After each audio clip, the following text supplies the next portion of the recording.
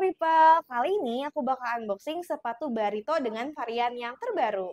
Nah, Barito ini terbuat dari bahan suede ya, cakep banget tuh kayak gini. Bagian outsole-nya terbuat dari bahan TPR kaca dan sudah anti slip anti licin. Nah, untuk ukurannya pakai ukuran luar negeri di ukuran 39 sampai dengan 44. Buat teman-teman yang mau boleh banget langsung aja cekotin.